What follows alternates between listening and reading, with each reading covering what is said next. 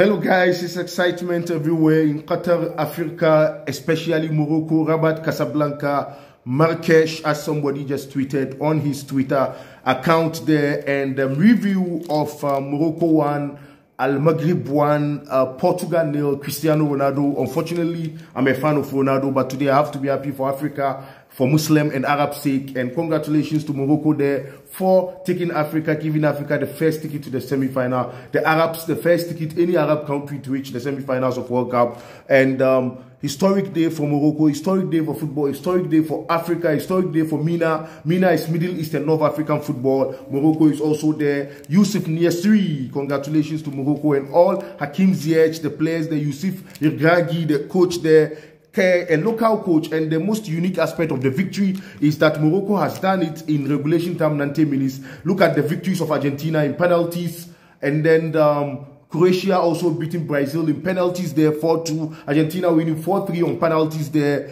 um, despite Holland coming back heroic um, equalizing goal 2-2 there and Morocco has done it once again and um, Jawad Badda, the Arab commentator of beIN Sports on TV. You cannot hide his excitement there as I watched him just a while ago celebrating Morocco's win with um, the noise and I was happy for him. Congratulations to all Moroccan fans. And we uh, Arabs and Muslim fans, we are also Africans. First, Africa, uh, Moroccan and Arab, we are all included in it.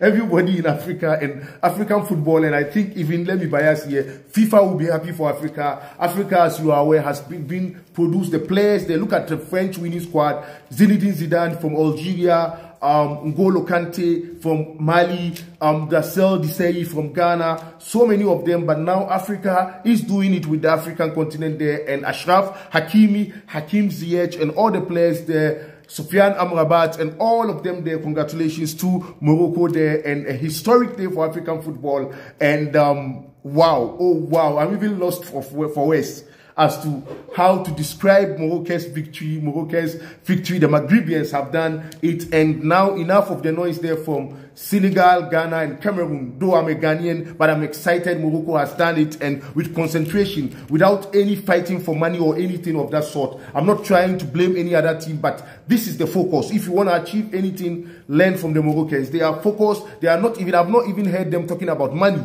Honestly, they add money is the side issue. They want to reach the final and possibly if they can win the trophy and uh, advise to other uh, nations in Africa, more Cameroon and Ghana most especially, sometimes and Togo. Some years back, Togo went to the World Cup. They are talking about money in the group stage. Come on, Morocco has shown the way and congratulations to the Atlas Lions. And